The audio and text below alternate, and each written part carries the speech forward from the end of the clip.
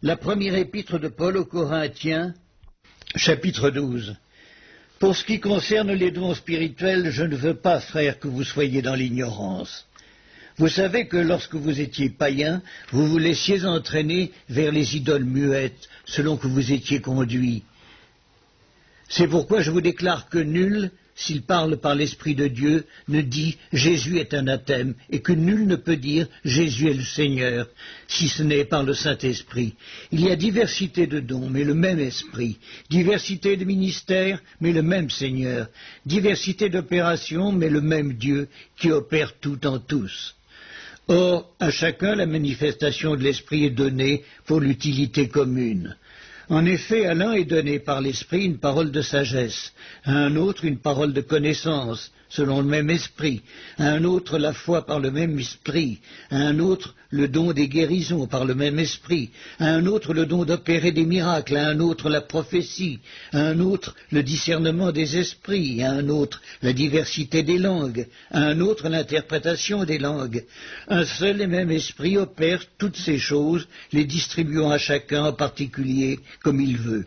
Car comme le corps est un en plusieurs membres, et comme tous les membres du corps, malgré leur nombre, ne forment qu'un seul corps, ainsi en est-il de Christ. Nous avons tous en effet été baptisés dans un seul esprit pour former un seul corps, soit juifs, soit grecs, soit esclaves, soit libres, et nous avons tous été abreuvés d'un seul esprit.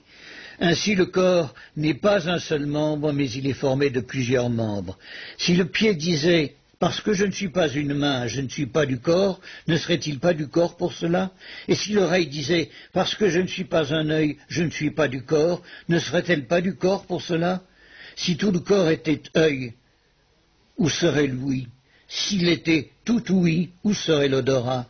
Maintenant Dieu a placé chacun des membres dans le corps comme il l'a voulu. Si tous étaient un seul membre, où serait le corps? Maintenant donc il y a plusieurs membres et un seul corps. L'œil ne peut pas dire à la main Je n'ai pas besoin de toi, ni la tête dire aux pieds Je n'ai pas besoin de vous. Mais bien plutôt les membres du corps qui paraissent être les plus faibles sont nécessaires, et ceux que nous estimons être les moins honorables du corps, nous les entourons d'un plus grand honneur. Ainsi nos membres les moins honnêtes reçoivent le plus d'honneur, tandis que ceux qui sont honnêtes n'en ont point besoin. Dieu a disposé le corps de manière à donner plus d'honneur à ce qui en manquait, afin qu'il n'y ait pas de division dans le corps, mais que les membres aient également soin les uns des autres. Et si un membre souffre, tous les membres souffrent avec lui. Si un membre est honoré, tous les membres se réjouissent avec lui. Vous êtes le corps de Christ et vous êtes ses membres, chacun pour sa part.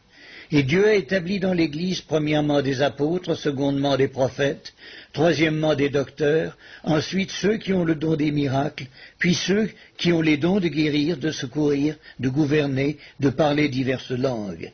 Tous sont-ils apôtres? Tous sont-ils prophètes? Tous sont-ils docteurs? Tous ont-ils le don des miracles? Tous ont-ils le don des guérisons? Tous parlent-ils en langue? Tous interprètent-ils? Aspirez aux dons les meilleurs, et je vais encore vous montrer une voie par excellence.